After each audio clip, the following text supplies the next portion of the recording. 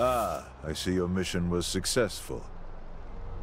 Amina, it's been a long time. I already know what you will ask of me, Bellum.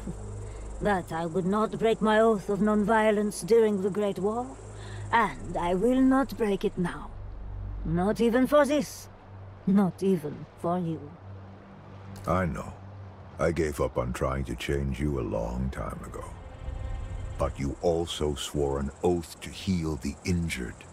And my agents are going to need your skills. Please, consider my offer. But right now, we must turn our attention to the Keystone. Tip checked out. The court's got this Keystone of yours. Strum's faction. It's on a ship called the Pharaoh. Reaches port this week. Then we have no time to waste. All four of you will infiltrate the